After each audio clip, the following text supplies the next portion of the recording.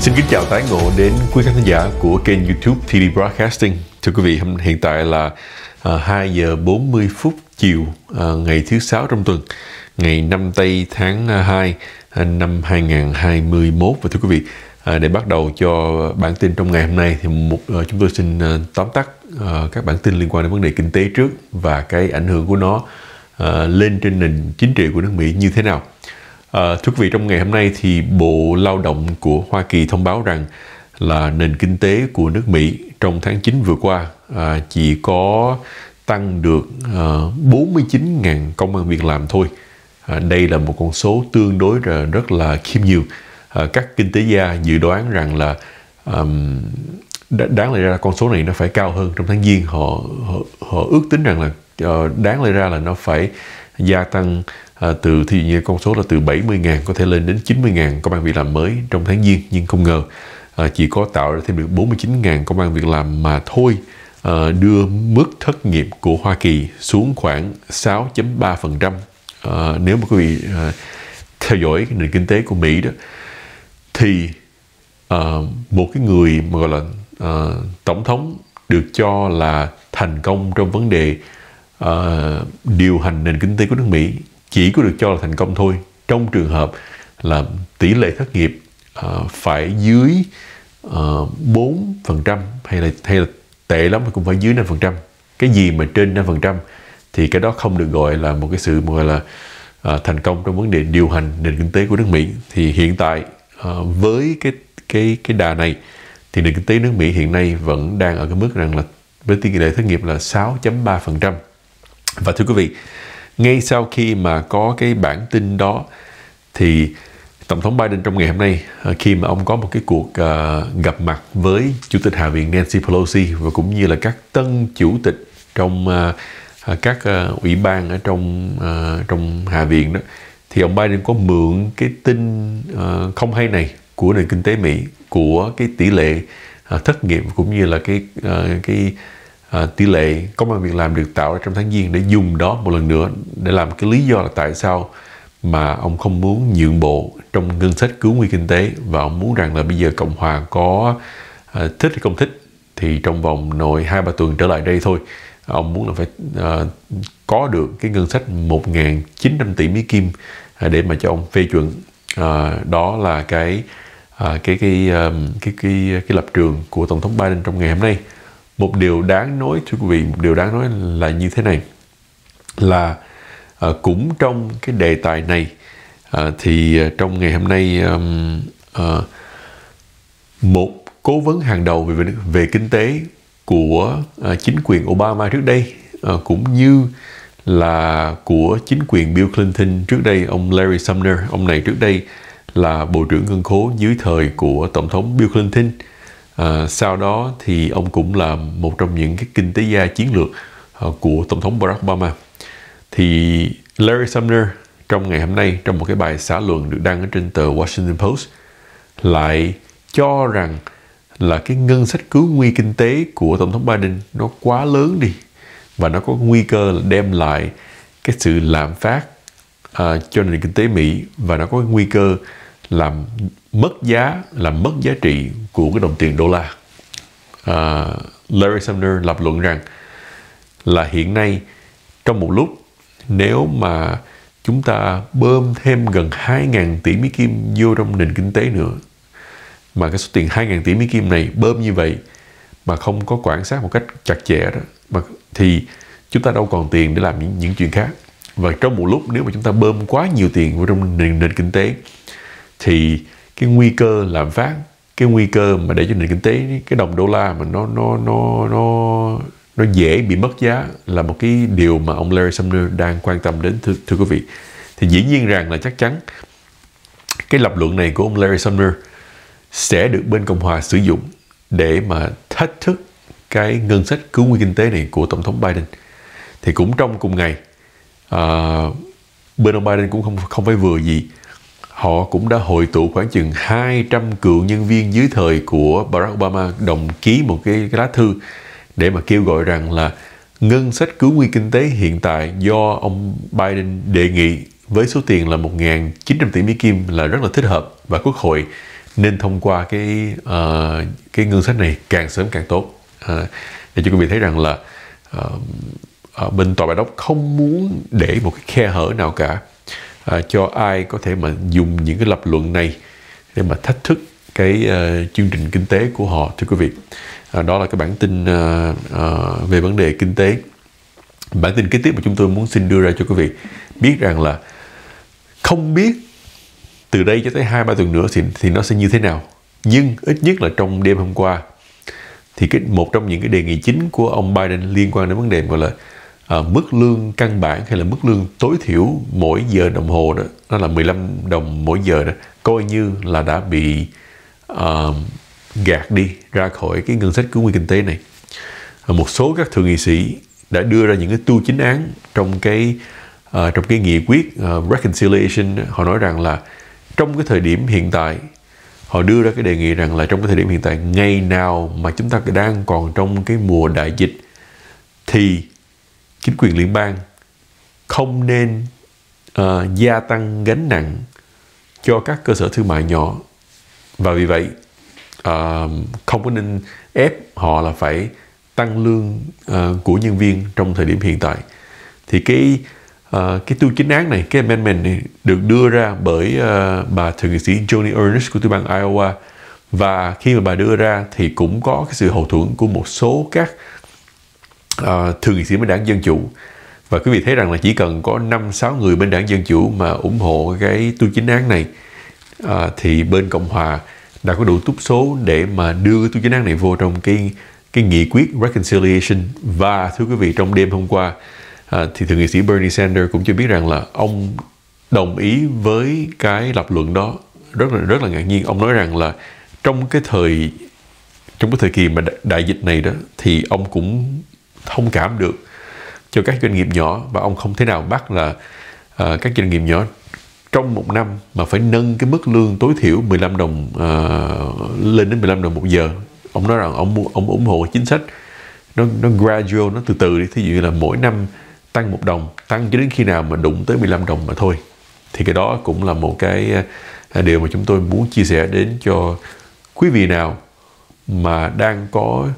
cơ sở thương mại lo lắng rằng là bây giờ mình phải, sắp sửa mình phải tăng lương nhân viên lên 15 đồng một giờ. Để cho quý vị biết được rằng là chưa chắc cái chuyện đó xảy ra. Còn đối với những người nào mà đang làm công, mà nghĩ rằng là, ô, chắc có thể là trong hai ba tuần nữa hay là hai hai ba tháng nữa, mức lương của tôi bây giờ đang ở thí dụ là 10 11 đồng một giờ đi, thì tôi sẽ được tăng lên là 15 đồng. Thì cũng khoan đã, hãy đợi thêm hai ba tuần nữa, coi chuyện gì đã xảy ra đã chứ còn cái chuyện mà là tăng lương tối thiểu của chính quyền liên bang chưa chắc được thực hiện nhưng nó cũng không có nghĩa nghĩa rằng là nó chưa chắc không được thực hiện phải chờ xem cái cái sự giằng co giữa phe À, cấp tiến và phe ôn hòa như thế nào trong nội bộ của đảng Dân Chủ thưa quý vị. À, bản tin kế tiếp nữa chúng tôi xin được đưa ra. Hôm qua cũng có một số người à, nói rằng là họ rất à, hứng thú để mà biết về à, những kế hoạch sau này của cựu phó tổng thống Mike Pence. Thì trong ngày hôm nay, ông Mike Pence chưa biết rằng là ông sẽ quay lại với một cái nghề cũ. Thưa quý vị, trước năm 2000 đó, trước năm 2000 là năm mà à, ông Mike Pence uh, lần đầu tiên đắc cử vô chức vụ dân biểu liên bang trước đó, đó thì ông uh, cái, cái cái ông ông hành nghề bằng cái cái uh, cái công việc rằng là một cái người phát ngôn viên trên một cái đài phát thanh đó là một cái radio personality một cái người radio host thì ông Mike Pence trong ngày hôm nay tuyên bố rằng là ông sẽ thành lập ra một cái chương trình uh, radio trên các trang mạng xã hội riêng cho ông cộng tác với lại cái tổ chức uh, Young American for Freedom hay là YAF. Uh, ờ, đây là một chương trình podcast cho nên rằng là chúng ta vẫn nghe như là radio nó không khác gì là radio cả nhưng mà podcast chỉ khác biệt rằng là podcast không có phát trên những cái làn sóng radio như là FM hay là AM mà podcast chỉ phát qua uh,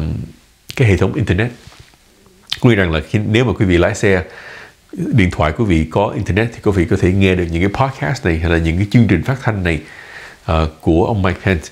Uh, khi nào nó bắt đầu thì chúng tôi sẽ chia sẻ cho quý vị hay. Nhưng mà bây giờ ông nói rằng là ông sẽ chuẩn bị để mà thành lập ra một cái chương trình uh, mình tạm dịch là chương trình phát thanh riêng của ông đi uh, với tổ chức Young American for Freedom. Thì quý vị thấy rằng là uh, ngày hôm qua ông sẽ quay lại ờ, với những cái vấn đề gọi là đi thuyết trình ờ, những chính sách bảo thủ. Ngày hôm nay thì ông sẽ có những cái chương trình talk show về dĩ nhiên chắc cũng là những về vấn đề bảo thủ hay là từ những cái vấn đề gì mà mà mình nghe qua từ cái khuynh hướng bảo thủ. À, để chúng thấy rằng là ông vẫn muốn giữ tên tuổi của mình ở ngoài ở ở ngoài công chúng. À, để cho người ta đừng có quên ông. Tuy nhiên ông không có đụng vô những cái những cái vụ làm ăn thương mại gì mà để để sau này người ta có thể quay ngược lại để mà à, dùng đó để mà à, phê bình ông hay là lên án ông khi mà ông ra tranh cử cho những chức vụ nào đó. Thưa quý vị thì đó là à, tin liên quan đến ông Mike Pence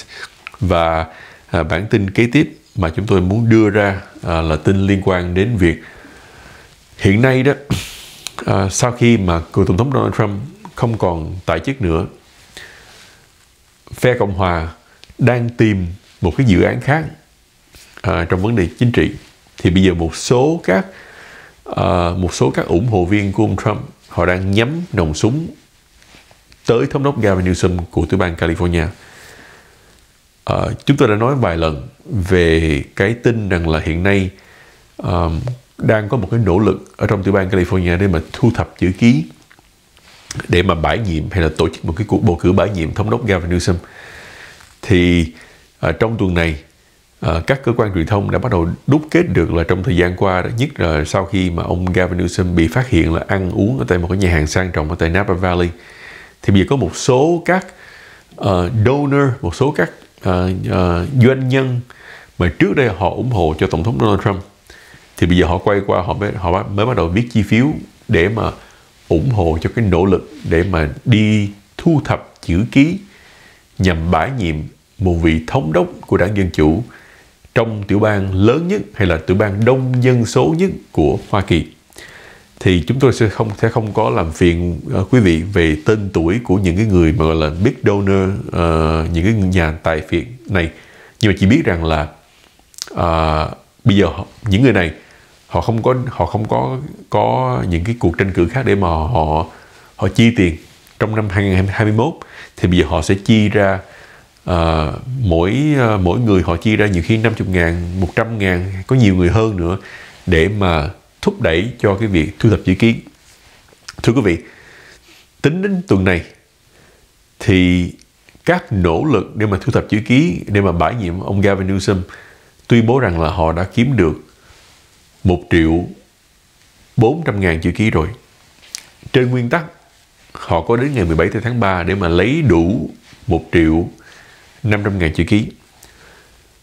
Họ nói rằng là họ tối thiểu họ muốn lấy là 1 triệu 800 ngàn chữ ký để đề phòng có những chữ ký nó gọi là bất hợp lệ, gọi là trừ hao đó. Thì nói chung rằng bây giờ là họ có um, họ họ còn đúng thời gian là một tháng nữa nếu mà hôm nay là hôm nay là là ngày 5 tây tháng 2 đúng không ngày 17 tây tháng 3 là hạn chót cho nên là họ còn hơn một tháng nữa để mà cố gắng làm sao mà lấy đủ 400 ngàn chữ ký. Họ chỉ cần lấy được 400 ngàn chữ ký hay là ít nhất là họ lấy thêm 2 300 ngàn chữ ký nữa thì sẽ vừa đủ cái túc số cần thiết để mà tổ chức một cuộc bầu cử đặc biệt trong uh, mùa thu của của năm nay. Và cái câu hỏi mà sẽ được dành cho cho cử tri nó là hai câu. Thứ nhất yes hay no? Đó là Gavin Newsom có nên bị recall hay không? Hay là Gavin Newsom có nên bị bãi nhiệm hay không? Và cái phần số 2 đó, cái phần số 2 là là trong trường hợp mà Gavin Newsom bị bãi nhiệm, thì trong cái danh sách các ứng cử viên này, quý vị sẽ chọn ai để mà thay thế chức vụ thống đốc? Đó là hai câu hỏi mà cử tri sẽ phải trả lời trong mùa thu của năm nay. Nếu mà à, những cái người mà bất mãn ông Newsom hồi đủ chữ ký để mà bãi nhiệm ông à, với cái hàng chó là ngày 17 tháng 3 à, một bản tin mà chúng tôi cũng muốn chia sẻ đến cho quý vị. Và thưa quý vị cuối cùng là bản tin liên quan đến cái cách hành xử của một số chính khách mà tôi đã từng chia sẻ với quý vị. Đây là tại sao mà họ làm những chuyện mà họ làm dù rằng là mọi người, nếu mà open mind, nếu mà là những người mà có cái cái cái cái khuynh hướng chính trị nó tương đối nó ôn hòa đó, không hiểu được là tại sao họ làm như vậy. Nhưng mà tôi đã từng nói với quý vị rồi là những cái người này, họ đi theo cái đường lối là càng nói chuyện táo bạo, càng có cái thái độ không đầu hàng, không nhượng bộ, thì có thể là họ mất ở một số, nhưng mà họ sẽ gặt hái được ở một số khác rất là nhiều à, thưa quý vị lấy hai ví dụ thôi. Lấy hai ví dụ là trong thời gian qua chúng tôi đã nói với quý vị về hai nhân vật đó là Josh thượng nghị sĩ George Hawley của tiểu bang Missouri dân biểu Marjorie Green Taylor của tiểu bang Georgia. Hai người đều là đảng Cộng hòa cả. Và nếu mà quý vị nhớ hai người này đều đóng đều góp tay trong cái nỗ lực mà không có muốn chứng nhận kết quả bầu cử của cử tri đoàn vào ngày 6 tháng Giêng. Thì thưa quý vị, trong một cái bản memo mà uh, do ban tranh cử của ông Josh Hawley đưa ra, của ông đưa ra nha, ông nói rằng là từ đầu tháng Giêng cho tới hiện tại thì ban tranh cử của ông George Hawley đã gây quỹ được khoảng 1 triệu bí kim. Từ các cử tri Cộng Hòa, mà mỗi lần họ cho, có thể là họ cho từ 5 đồng cho cho 5 đồng 10 10 đồng 15 đồng 20 đồng là tối đa. Đây là cái memo mà bên tranh cử, ban tranh cử của ông George Hawley, ông đưa ra để cho quý vị thấy được rằng là dù George Hawley bị một số các công ty hay là bị một số các các tập đoàn uh, tuyên bố rằng là ông là cái người mà gọi là tin vào những cái thuyết âm mưu này và chúng tôi không ủng hộ ông nữa vào vấn đề tiền bạc. George Hawley không có care, George Hawley không có quan tâm về cái vấn đề đó tại vì cho dù là tập đoàn ABC nói rằng là từ nay tôi không có ủng hộ tiền bạc cho ông nữa nhưng quý vị thấy đó ông ta là một trong những cái chiến binh trong phong trào MAGA ông ta là một cái người mà đã uh, đưa ra những cái cái hành động để mà cho những cử tri nào mà ủng hộ cho ông Donald Trump một cách tuyệt đối thấy rằng là đó là những chiến binh mà chúng tôi cần ủng hộ tại vì ông này trung thành với lại uh, lãnh tụ của tôi đó là ông Donald Trump. Thì thưa quý vị quý vị, quý vị thấy rằng là trong thời gian chỉ một tháng thôi mà George Hawley có thể gây quỹ được hơn vô cả một triệu bạc chỉ vì một cái hành động là đi thách thức kết quả bầu cử vào ngày 6 tháng Giêng của cử tri đoàn. Và từ đó đến giờ, ông George Hawley là thượng nghị sĩ Cộng hòa duy nhất mà chưa từng một lần bỏ phiếu thuận cho bất cứ các đề cử viên nào do ông Biden đề cử vô nội các cả. Không có người nào mà George Hawley đã bỏ phiếu yes để mà chuẩn thuận những người đó cả. Thì quý vị thấy rằng là ông này đó ông ông đang đóng cái vai trò là đảng đối lập 100%, không tương nhượng, không nhượng bộ, không đầu hàng. Cái gì của Joe Biden đưa ra là đều phải bỏ phiếu no cả. Cái gì mà có lợi cho Joe Biden đều bỏ phiếu no cả. Đó là về George Hawley để để cho quý vị thấy được rằng là trong cái trong cái ờ, cái môi trường chính trị hiện nay với cái sự hỗ trợ của các mạng xã hội những chính khách như là George Hawley không cần mà gọi là không cần phải play nice không cần phải uh, dung hòa với những người khác. Chỉ cần đi cái nước làm sao là uh, lấy lấy được cái sự hậu thuẫn của cái phe nồng cốt hay là hay là nếu mà mình nhìn mình nói xấu hơn lấy cái sự hậu thuẫn của phe cực đoan trong đảng là đã đủ rồi. Không cần không cần phải quan tâm đến những thành phần khác. Đó là về vấn đề George Hawley thưa quý vị. À, kế đến nữa thưa quý vị Bà dân biểu Marjorie ờ, Taylor Greene. Quý vị nghe tên bà này cũng nhiều lần trong tuần qua. À, Chương trình của tôi cũng nói nhiều về bà này. Chương trình à, các cơ quan à, tin tức dòng chính cũng nói. Thì cũng trong một email à, mà bà đã gửi ra cho các ủng hộ viên của bà đó Bà đã tuyên bố rằng Trong thời gian qua Bà đã thu vô được 1 triệu 600 ngàn Mỹ Kim một triệu sáu trăm ngàn Mỹ Kim. Có nghĩa là bà chỉ đại diện có một địa hạt nhỏ của tiểu bang Georgia thôi. Mà bà bây giờ bà xin tiền còn nhiều hơn là cái George Hawley nữa. Là tại vì bà đưa ra những cái thuyết âm mưu à, mà quý vị đã từng nghe rồi. Thì quý vị thấy rằng là bà đưa ra những thuyết âm mưu mà mà người ta vẫn cái cái phe mà cái cái phe mà gọi là fan cứng trong phong trào MAGA họ vẫn tin họ vẫn ủng hộ. À, các fan cứng của bà hay là các fan cứng của ông Trump thấy là bà bị bên dân chủ ăn hiếp. Trong tuần này hất bà ra khỏi những ủy ban như là giáo dục, lao động ờ, và cũng như là ngân sách thì họ là càng thưởng bà thêm nữa. Thì cái cái cái phần chót của video này cái gì là tôi muốn nói với quý vị? Đó là nhiều khi quý vị thấy có những người không phải là họ không phải là họ khờ không phải là họ uh, điên mà mỗi chuyện họ làm có thể người khác thấy là họ khờ, có thể người khác thấy họ điên, nhưng họ rất là tỉnh. Tại vì những cái chuyện mà họ nói, những cái gì mà họ làm có thể nó nghe là táo bạo, có thể là nó nghe điên cuồng, nhưng nó đều có mục đích cả. Là tại vì những cái hành động, những cái lời phát biểu táo bạo, điên cuồng đó có người thích, có người ủng hộ, có người muốn nghe. Cho nên rằng là, thưa quý vị, bà Marjorie Taylor Greene bà phát biểu như vậy uh, sau khi mà bà bị đảng Dân Chủ hất ra khỏi hai ủy ban đó nha bà nói rằng là bà phát biểu với tờ báo Washington Examiner như sau bà nói họ không hề hiểu được là họ đang giúp cho tôi. Tôi thật sự ngạc nhiên là đám này họ ngu đến như thế họ khờ đến như thế. À, bà phát biểu như vậy à, với à, tờ Washington Examiner. Bà nói tiếp cái việc này mà bà đang ám chỉ cái việc mà bà bị hất ra khỏi cái hai cái hai cái ủy ban lập pháp đó, đó. Cái việc này nó sẽ cho tôi thêm nhiều thời gian. Và tôi nghĩ cái đó là một cái chuyện rất là tuyệt vời tại vì tôi càng có như xem nhiều thời gian rảnh rỗi đó. Có nghĩa là sao? Là bây giờ không bị hất ra khỏi hai ủy ban lập pháp này thì không cần phải đi họp. Không cần đi họp không cần phải đi mất thời giờ làm những chuyện công mà hoàn toàn có thể đi lên trên social media để mà thao thao bất tuyệt có thể lên uh, có thể đi đi đó mà không cần bị vướng bận tại vì mình mình được quốc hội trả lương mà không cần phải đi họp à, bà nói tiếp rất là tuyệt vời tại vì tôi có thể có được thêm sự ủng hộ và tôi có thể có thêm thời giờ để mà ủng hộ các ứng cử viên Cộng hòa đang ra tranh cử vào năm 2022. Đó. Quý vị thấy không? Đó là cái uh, cái lợi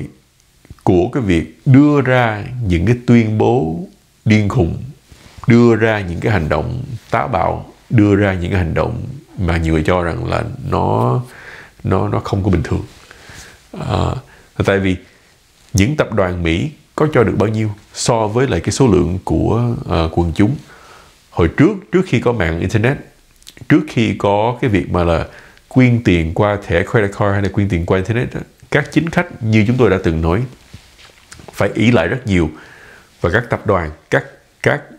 uh, người làm business để mà ủng hộ cho cái quỹ tranh cử của họ. Nhưng bây giờ